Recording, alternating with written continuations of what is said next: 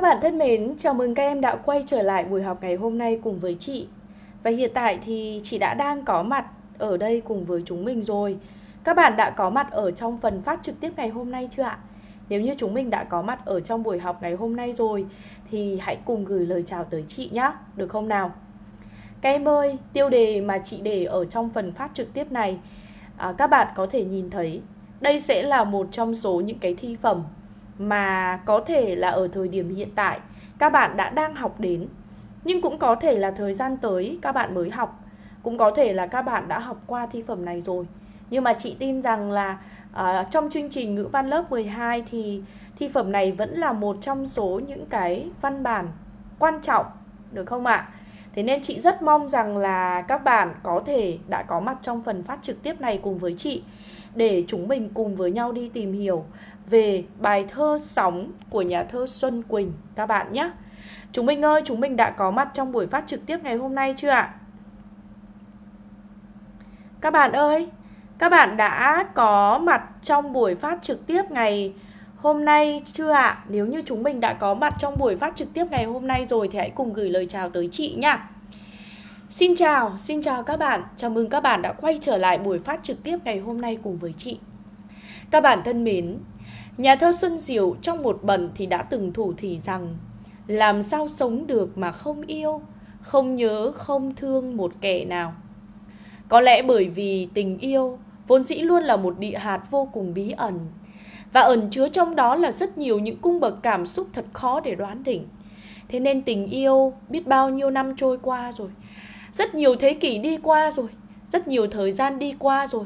Chỉ cần trong trái tim của người trẻ vẫn còn đang đập những nhịp bồi hồi thì có lẽ khát vọng tình yêu sẽ là khát vọng trường tồn mãi mãi. Chúng ta thấy rằng là trong chương trình ngữ văn lớp 12 có một cái tác phẩm cũng viết về tình yêu và cho chúng ta thấy được rằng là đây thực sự là một cái tác phẩm để chúng ta hiểu thêm về tình yêu trong những năm tháng kháng chiến chống Mỹ, gian khổ và ác liệt. Thế nhưng đồng thời chúng ta cũng hiểu thêm về gì ạ? Chúng ta cũng hiểu thêm về một nữ sĩ, chúng ta cũng hiểu thêm về những cái cung bậc cảm xúc của người con gái trong tình yêu là như thế nào. Và các bạn ơi, chào mừng các bạn cùng đến với chị trong buổi phát trực tiếp ngày hôm nay. Chúng ta có bài thơ Sóng của nhà thơ Xuân Quỳnh. Xin chào các em, xin chào Diệu Yến, xin chào Thế Hưng, xin chào Mạnh Quỳnh, xin chào các bạn. Hãy giúp chị Hiên tác thêm những người bạn của mình vào phần phát trực tiếp này để các bạn ấy cũng có thể giống như các em được đón nhận những phần kiến thức từ thi phẩm Sóng của nhà thơ Xuân Quỳnh các bạn nhé. Được không nào? Chúng mình ơi, ở trên lớp chúng ta đã học đến bài này chưa ạ? Các em đã học đến bài học này chưa? Các em ơi, ở trên lớp các em đã học đến bài học này chưa? Chị xin chào Hà Uyên, chị chào em à, Chia sẻ ngay phần phát trực tiếp này về trang cá nhân của mình Để lúc nào mà chuẩn bị ôn thi học kỳ là mình có cái để mình tìm lại ngay và luôn nhé được không ạ? À? Và cũng đừng quên thả thật nhiều tim yêu thích để chị Hiên biết rằng đây là một cái phần phát trực tiếp hữu ích cùng với các bạn.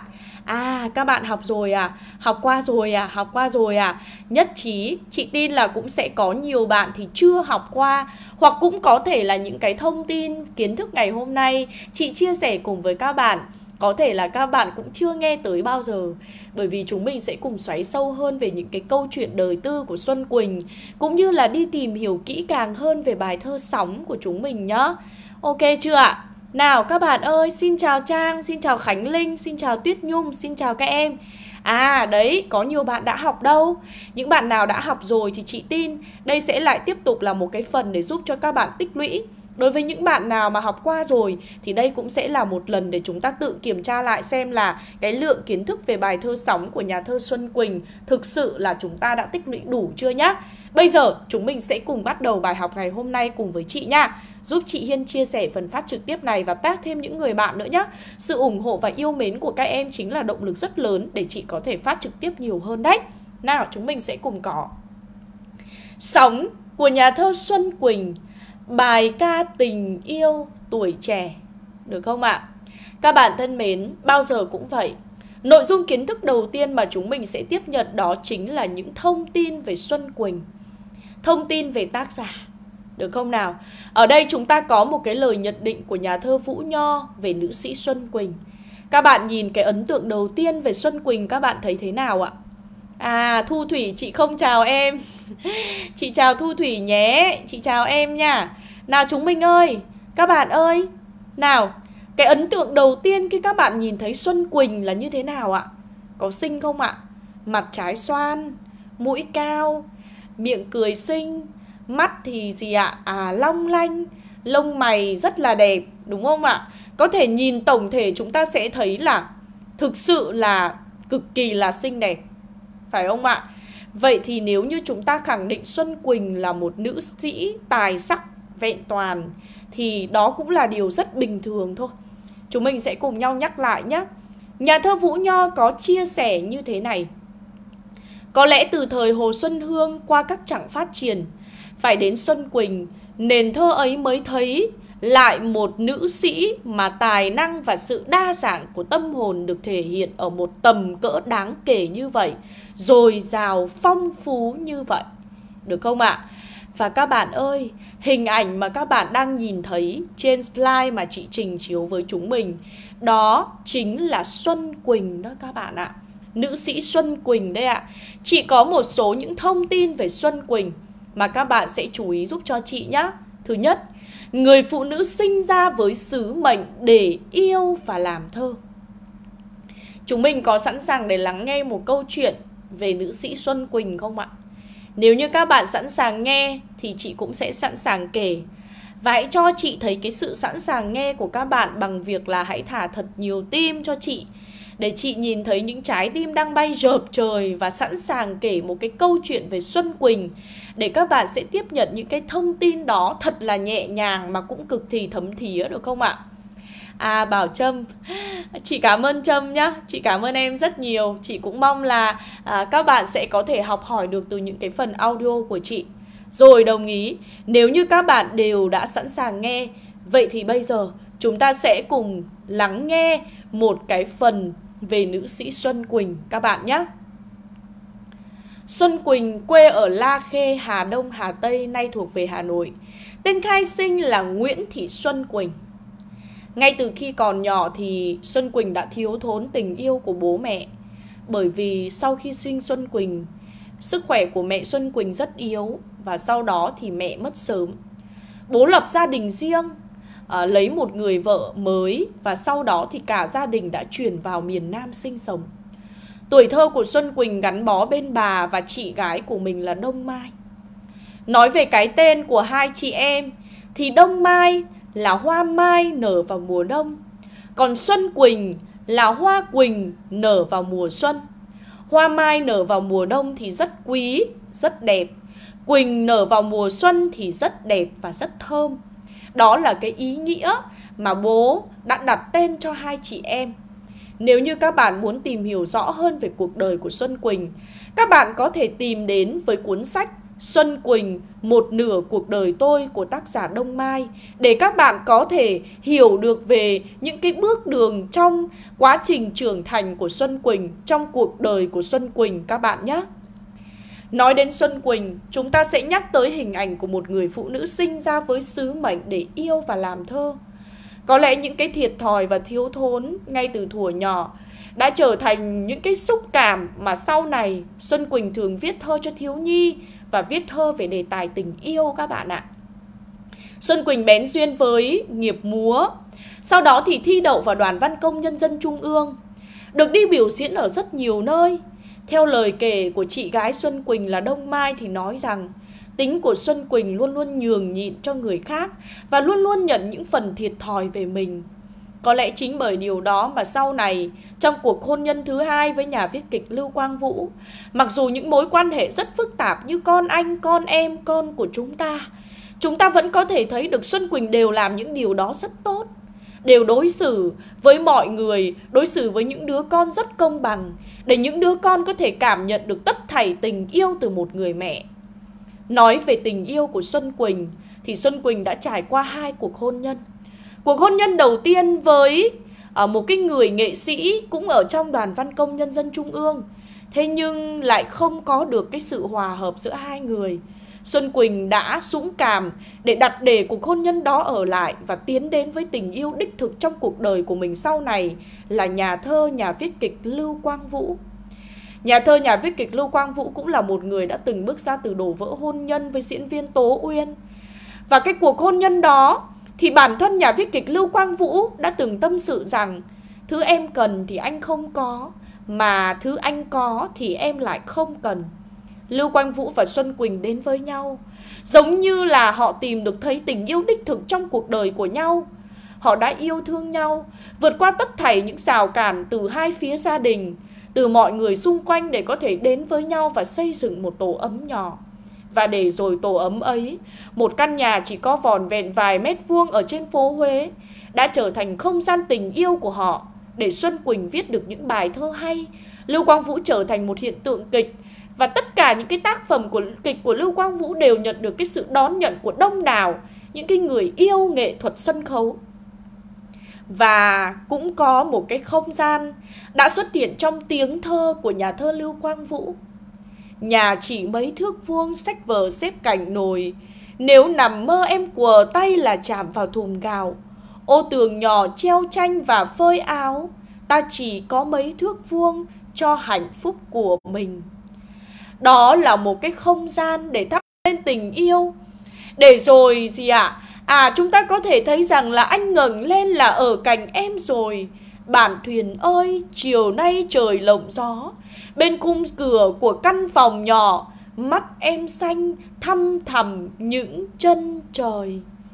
Chính một căn nhà vòn vẹn mấy mét vuông ở thành ở phố Huế đó đã thực sự trở thành một cái không gian để hai người cùng sáng tác cùng dành tất cả cái tình yêu vượt qua những đổ vỡ để có thể yêu thương nhau.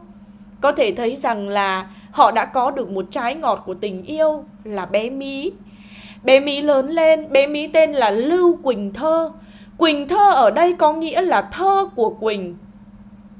Bản thân Xuân Quỳnh thì đã rất mong mỏi là có thể sinh một cô con gái trong lần thứ hai mang bầu này và đã mua toàn đồ con gái cũng rất mong là em bé này sẽ là con gái bởi vì con của Xuân Quỳnh, con riêng của Xuân Quỳnh cũng là con trai, con riêng của Lưu Quang Vũ cũng là con trai và bản thân Xuân Quỳnh cũng đã dự định đặt một cái tên cho em bé này là Quỳnh Thơ, có nghĩa là thơ của Quỳnh. Thế nhưng mà em bé này lại là một em bé trai và Xuân Quỳnh vẫn đặt tên cho em bé ấy là Quỳnh Thơ. Quỳnh Thơ rất xinh xắn và đáng yêu, bộc lộ tài năng bộc lộ cái tài năng mỹ thuật của mình từ rất sớm, tham gia nhiều cuộc thi vẽ tranh cho thiếu nhi và đều đạt giải thưởng.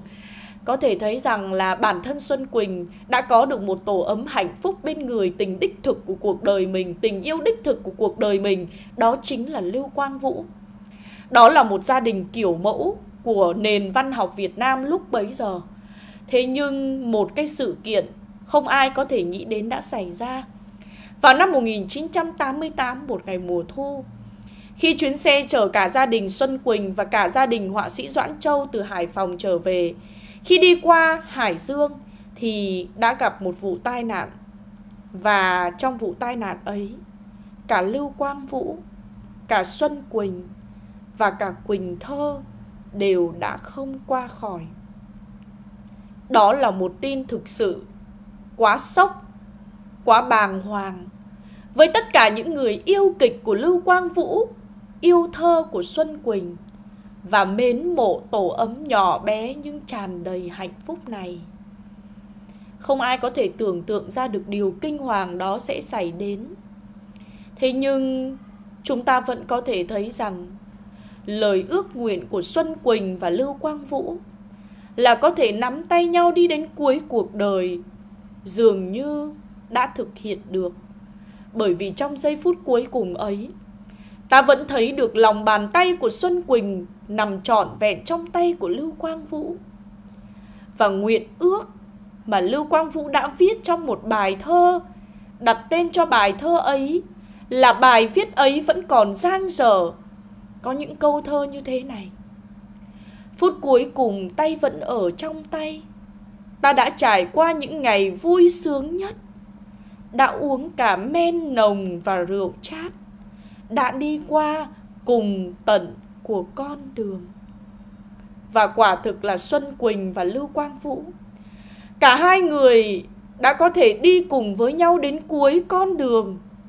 Dù đoạn đường đó chưa đủ, chưa thật là đủ dài. Thế nhưng đến bây giờ, người ta vẫn còn xúc động về câu chuyện tình yêu của Xuân Quỳnh và Lưu Quang Vũ. Người ta vẫn còn xúc động bởi cách mà Xuân Quỳnh viết về con anh, con em, con của chúng ta. Viết về anh, viết về tình yêu của chúng ta. Và họ cũng xúc động về những lá thư tay mà Xuân Quỳnh và Lưu Quang Vũ đã gửi cho nhau trong những ngày tháng xa cách. Tất cả những điều đó khiến cho ta nhận ra rằng bản thân Xuân Quỳnh là một người là một người phụ nữ sinh ra trong cuộc đời này đã được giao phó một sứ mệnh là để yêu, yêu thật nhiều và làm thơ, làm thơ thật hay. Đó là cách mà Xuân Quỳnh diễn tả về những xúc cảm của mình giải bày trên những trang thơ. Đó là cách mà Xuân Quỳnh thẳng thắn đưa ra những điều Xuân Quỳnh yêu và ghét. Và tất cả những điều đó chúng ta cảm nhận được từ Xuân Quỳnh, một người phụ nữ sinh ra trong cuộc đời này với sứ mệnh để yêu và làm thơ. Các bạn ơi, thì đó là những cái chia sẻ về cuộc đời của Xuân Quỳnh nhé. Chị tin là nếu như các bạn theo dõi chăm chú với cái nội dung mà chị vừa trao đổi thì các em đã có được những cái thông tin về Xuân Quỳnh khá là đầy đủ về cuộc đời của Xuân Quỳnh rồi đấy ạ. Được không nào? Chúng mình ơi, chúng mình có nắm được phần đó không? Và bây giờ sẽ là những cái phần kiến thức để chị tổng hợp lại và chỉ ra những cái đặc điểm nổi bật nhất là những cái từ khóa nổi bật nhất mà các bạn sẽ giúp chị ghi nhớ khi nói về Xuân Quỳnh các em nhé. Ok chưa ạ? Thì chúng mình có thể thấy ở đây này, Xuân Quỳnh, người phụ nữ sinh ra với sứ mệnh để yêu và làm thơ. Và hồn thơ thì rất là hồn nhiên, tươi tắn, chân thành, À, đầm thắm, mang những khát vọng hạnh phúc. Thế nhưng cũng chất chứa ở trong đó là những chăn trở âu lo, đây là một trong số những nhà thơ tiêu biểu của các thế hệ nhà thơ trẻ thời kỳ chống Mỹ và từng là một diễn viên múa. Đề tài mà Xuân Quỳnh thường viết trong những phần thơ của mình là thơ viết cho thiếu nhi và thơ viết về đề tài tình yêu. Các tác phẩm nổi tiếng đó là Thuyền và Biển, đó là Hoa cỏ may, đó là Tự hát, đó là Nói cùng anh, đây là một số những tác phẩm nổi bật và đó là những thông tin được chia sẻ đầu tiên về nữ sĩ Xuân Quỳnh. Các bạn ơi, các bạn đã nắm được chưa ạ? Nếu như chúng mình đã nắm được rồi thì các bạn có thể thả thật là nhiều tim để chị Hiên biết nhá, Được không ạ? Và chúng mình ơi, cũng đừng quên là hiện tại chị vẫn đang tiếp tục tuyển sinh cho khóa học toàn diện và khóa học luyện đề chuyên sâu dành cho các bạn 2K5. Kiến thức nền là một trong những phần cực kỳ quan trọng nếu như các em có được những kiến thức nền hay thì phần viết của các em cũng sẽ trở nên tốt hơn rất nhiều. Thế nên chị rất hy vọng rằng có thể được gặp các bạn để cung cấp cho các bạn những kiến thức nền hay như thế này và hay hơn thế này các bạn nhé. Có thể chủ động nhắn tin cho admin fanpage nha. Bây giờ quay trở lại, đó là những thông tin về Xuân Quỳnh. Em trở về đúng nghĩa trái tim em là máu thịt đời thường ai chẳng có. Vẫn ngừng đập lúc cuộc đời không còn nữa. Nhưng biết yêu anh cả khi chết đi rồi. Các bạn ơi, đó là cách mà xuân quỳnh thể hiện tình yêu đấy ạ. Đó là cách mà xuân quỳnh thể hiện tình yêu đấy các bạn ạ. Và đó là cách mà xuân quỳnh nói rằng, chẳng sĩ diện đâu nếu tôi yêu được một người. Tôi sẽ yêu anh ta nhiều hơn anh ta yêu tôi nhiều lắm. Tôi yêu anh dẫu vạn lần cay đắng. Em muốn viết vạn lần dòng chữ. Em yêu anh, yêu anh như điên. Đó là cách mà Xuân Quỳnh thể hiện tình yêu của mình đây ạ. À. Và các bạn có thể nhìn thấy nhá. Đây là Xuân Quỳnh. Đây là Xuân Quỳnh. Đây là Lưu Quang Vũ. Đây là Quỳnh Thơ. Đây là Tuấn Anh, con riêng của Lưu Quang Vũ. À đây là Tuấn Anh con riêng của Xuân Quỳnh. Đây là Lưu Minh Vũ con riêng của Lưu Quang Vũ. Và đây là một gia đình rất đặc biệt khi có con anh, con em, con của chúng ta. Thế nhưng tất cả chúng ta vẫn đang nở một nụ cười thật tươi và hạnh phúc. Bởi vì trong tổ ấm nhỏ ấy Nó là cái tình yêu thương lớn lao vô cùng của một người mẹ đó là cái sự sắp xếp vun vén cho gia đình khéo léo của một người phụ nữ đã từng trải qua đổ vỡ của hôn nhân, nay tìm được bến đậu đích thực trong cuộc đời của mình. Và các bạn có thể thấy Xuân Quỳnh, Lưu Quang Vũ, những câu chuyện ngôn tình đời thật và bây giờ chúng ta tìm hiểu về chuyện tình của Xuân Quỳnh và Lưu Quang Vũ để chúng ta dường như có thêm niềm tin trong cuộc đời, có thêm niềm tin vào tình yêu để chúng ta lại một lần nữa yêu hết mình, chảy bỏng hết mình. Được không ạ? À? Các bạn ơi, đây ạ. À. Những ngày này nhớ và thương Quỳnh lắm. Không nên bực bội về Sài Gòn và người Sài Gòn làm gì. Mùa đông này về với anh, đi bên anh nằm bên anh trong căn phòng đầy tranh của chúng ta và với mí tuyệt vời của chúng ta và chúng ta sẽ viết chứ sợ gì em nhỉ các bạn ơi đó là những cái tiếng lòng mà lưu quang vũ đã viết trong những bức thư. Để làm gì ạ? Để gửi cho xuân quỳnh đấy ạ.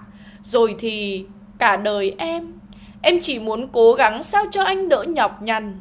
Lắm lúc, em thấy em không xứng đáng với anh. Không phải về tình yêu mà là về trí tuệ. Để rồi em nhận ra rằng là có những khi mà em nghĩ rằng là hay là em bỏ anh đi để cho người ta đỡ nói rằng là em không xứng đáng với anh. Thế nhưng mà em đã buộc cuộc đời anh vào cuộc đời anh rồi. Em đã buộc cuộc đời em vào cuộc đời anh rồi. Thì cắt đi, làm sao nổi? Các bạn ơi, đó là những cái tiếng, đó là những cái bức thư. Đó là những cái câu văn được trích từ những cái bức thư mà Xuân Quỳnh gửi cho Lưu Quang Vũ và Lưu Quang Vũ gửi cho Xuân Quỳnh đấy ạ. Và mời các bạn sẽ cùng xem một cái video clip này cùng với chị nhé. Về đi em, về với những con đường chúng ta vẫn đi, những công việc với cái thành phố nghèo nơi người ta nơi người ta sống rất khổ mà vẫn luôn tìm cách để sống cho thanh thản trong nỗi khổ ấy, sống thanh thản và yên tĩnh được không nào? Em cảm thấy em già rồi, già về thể chất đã đành nhưng lại còn già về sự yên phận của người đàn bà, về những sự nhỏ nhen tầm thường của đời sống. Em nhìn mặt em trong gương, em thấy em không xứng với anh. Các bạn ơi, đó đều là những lời, là những cái bức thư rất xúc động mà hai người đã gửi cho nhau đấy ạ. À. Và bây giờ mời các bạn cùng xem một đoạn video clip mà chị đã sưu tầm được nhé. Xin mời các em. Nhà Đây là căn nhà. Vuông, sách vở xếp cạnh nồi. Nếu nằm mơ, em của tay là chạm vào thùng gạo. Ô tường nhỏ, treo tranh và phơi áo. Ta chỉ có mấy thước vuông cho hạnh phúc của mình. Bài thơ nhà trật với sáu thước vuông chật hẹp nhưng ấm áp hạnh phúc này là nơi gắn bó của vợ chồng cố nghệ sĩ Lưu Quang Vũ và Xuân Quỳnh từ thời gian khó đến khi theo mây trắng về cuối trời. Cả căn phòng chỉ có một chiếc bàn nhỏ đủ để kê một quyển sổ cho cả hai vợ chồng ngồi làm việc. Thường là Xuân Quỳnh nhường Lưu Quang Vũ ngồi viết, còn mình thì ngồi dưới đất kê giấy lên đùi để sáng tác thơ. Hàng trăm bài thơ của hai người và hàng chục vở kịch nổi tiếng của Lưu Quang Vũ như Hồn chương ba ra hàng thịt, Tôi và chúng ta, lời thề thứ 9 đều được ra đời từ chính góc nhỏ cùng khổ cùng vui này. Thật khó tưởng tượng, trong căn phòng bé nhỏ cũ kỹ như khoang thuyền chật hẹp ấy lại là nơi trú ngụ của năm sáu con người, hai vợ chồng ba đứa con và đôi khi cả mẹ, anh em của Lưu Quang Vũ cũng đến ở cùng. Nhọc nhằn là vậy, nhưng chính cuộc sống chung với Xuân Quỳnh đã cho Lưu Quang Vũ một nguồn năng lượng mới để ông vừa có trong tay một sự nghiệp lý tưởng, vừa có một hạnh phúc đời thường. Anh ngẩng lên là ở cạnh em rồi, bạn thuyền ơi, ngoài kia chiều lộng gió. Bên cửa sổ của gian phòng nhỏ mắt em xanh thăm thẳm những chân trời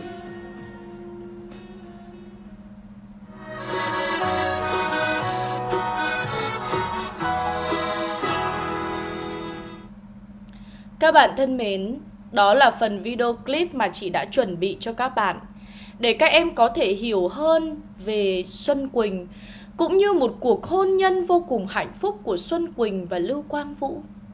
Anh ngừng lên là ở cạnh em rồi, bạn thuyền ơi ngoài kia chiều lộng gió, bên cửa sổ của gian phòng nhỏ, mắt em xanh thăm thầm những chân trời.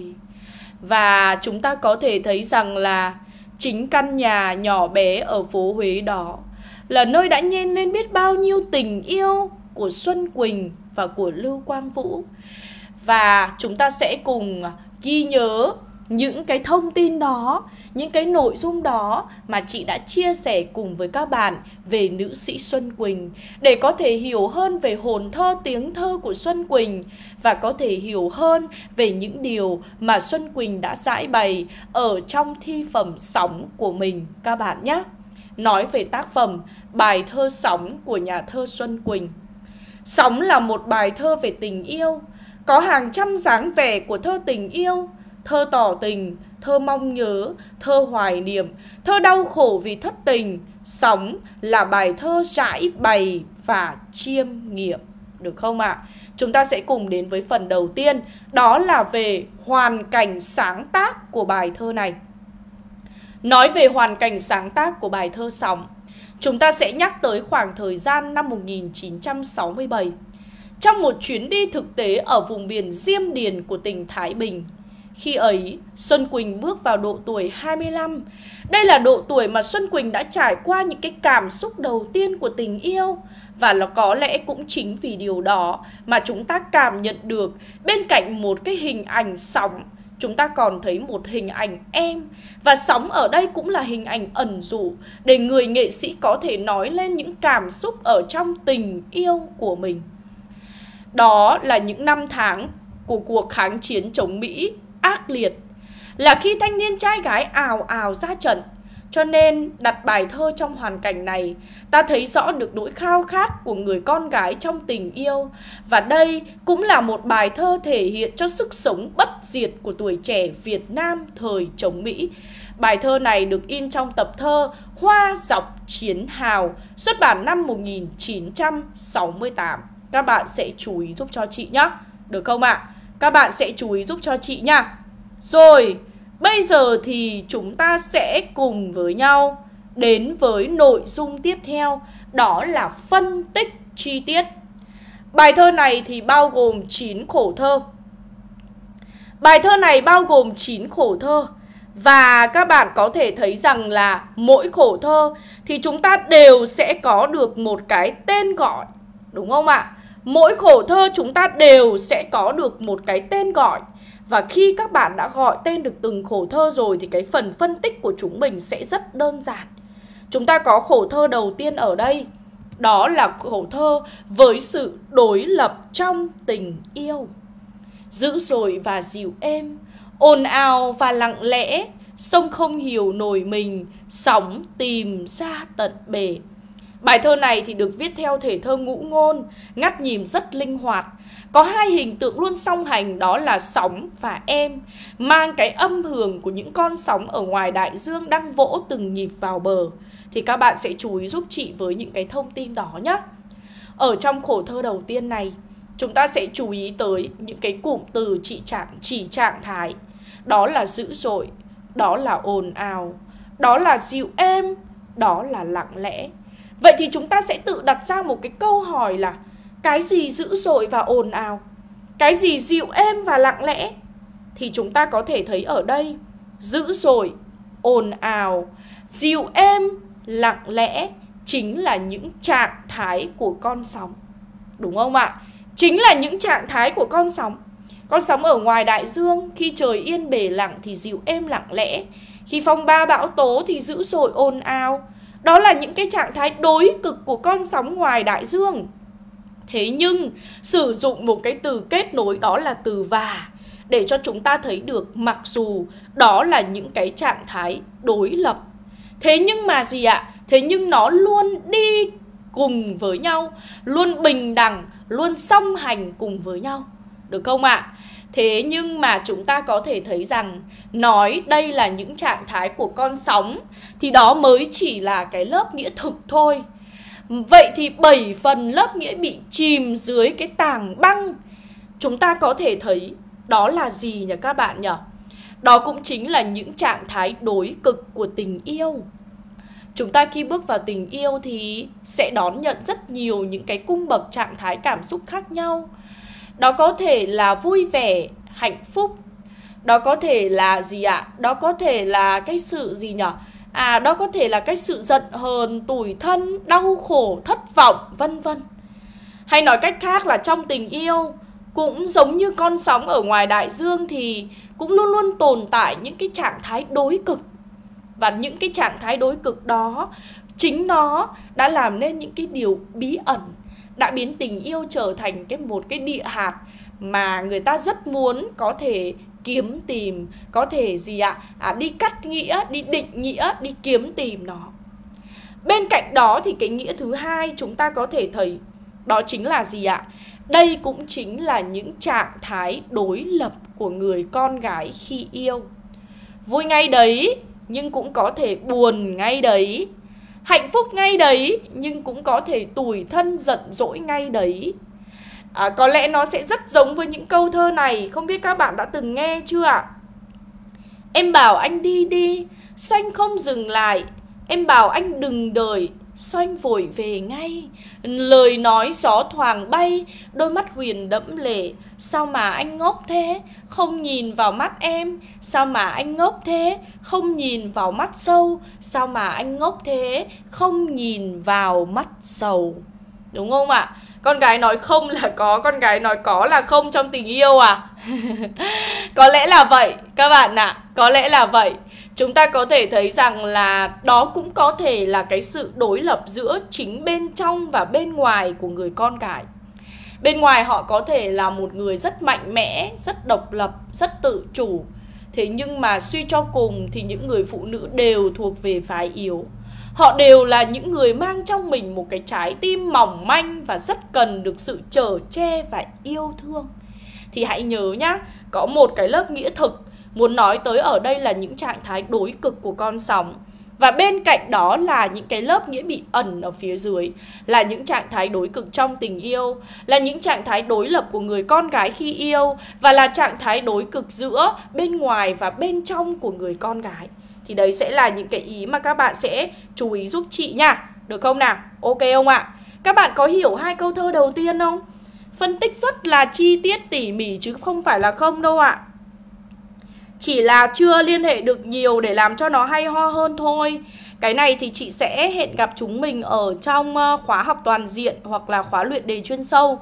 Chị nghĩ là những bạn nào mà muốn học sâu về kiến thức nền thì chúng mình có thể gặp nhau trong khóa toàn diện nhá. Các bạn có thể tham khảo hoặc nếu như đã có kiến thức nền rồi thì các bạn có thể uh, tham gia khóa luyện đề chuyên sâu. Đây cũng là một cái khóa học gọi là thường niên của học văn chị Hiên rồi.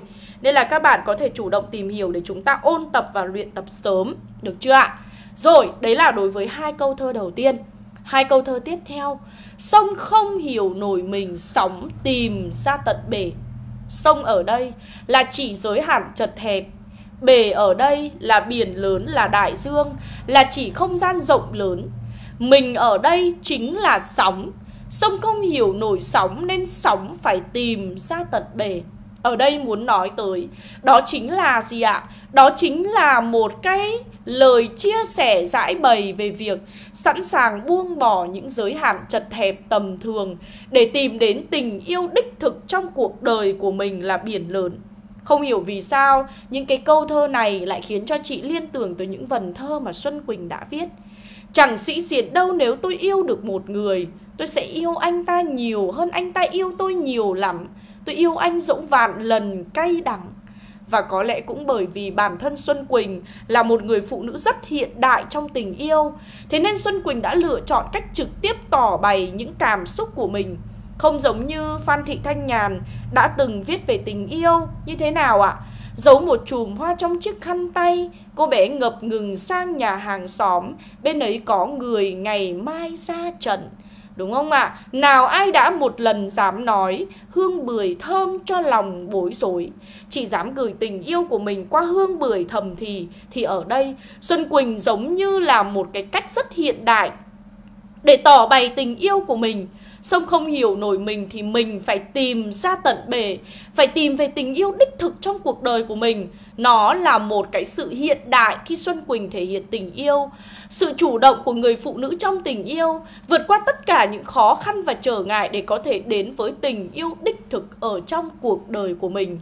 Viết điều này vào những năm 1967 Chúng ta không thể không thừa nhận rằng bản thân Xuân Quỳnh là những là một người phụ nữ gì ạ? Người phụ nữ của muôn thuở, là người đàn bà của muôn thuở và ở đây chúng ta thấy được một cái sự phá cách, một cái sự hiện đại trong tiếng thơ của Xuân Quỳnh. Rất giống với những gì người phụ nữ này đã từng tỏ bày. Nữ sĩ ấy đã từng tỏ bày. Tôi ghét bầu trời sau cung cửa bình yên. Con người vắng người, con đường vắng người đi và hàng cây lặng gió. Tôi yêu dòng sông mùa nước lũ Sau phá phách ngàn đời vẫn là lượng phù sa. Chúng ta thấy được cái sự táo bạo Chúng ta thấy được cái sự hiện đại Chúng ta thấy được cái sự chủ động của Xuân Quỳnh trong tình yêu. Được không nào? Thì đây sẽ là một cái thông điệp mới mẻ trong tình yêu. Được Xuân Quỳnh sẻ chia từ hai câu thơ này của mình. Các bạn nhá. Ok chưa ạ? Chúng mình ơi, có lẽ ngày hôm nay chị Hiên chỉ đủ thời gian để có thể phân tích cùng với các bạn chia sẻ về Xuân Quỳnh cũng như phân tích đoạn thơ đầu tiên thôi. Nếu như chúng mình muốn học nhiều hơn cùng với chị thì có thể đăng ký khóa học toàn diện hoặc là khóa luyện đề chuyên sâu để chị em mình gặp nhau, chia sẻ những cái phần kiến thức nền thật là hay nhá. Bởi vì các bạn đều biết rằng là bản chất của việc chúng ta muốn viết hay, trước tiên chúng ta phải có những kiến thức nền hay đã, từ ngữ hay đã thì tất cả điều này chúng mình sẽ làm cùng với nhau ở trong khóa luyện đề chuyên sâu, cũng như là trong khóa học toàn diện nha. Ok không ạ? Rất cảm ơn các em vì ngày hôm nay đã dành thời gian quý báu của mình để có mặt ở đây cùng với chị. Và rất mong rằng các bạn đã có thể hiểu về cuộc đời của Xuân Quỳnh, cũng như hiểu về khổ tơ đầu tiên trong bài thơ sóng của nhà thơ Xuân Quỳnh nhé. Còn bây giờ thì xin chào và hẹn gặp lại các bạn trong những phần phát trực tiếp tiếp theo nha. Bye bye!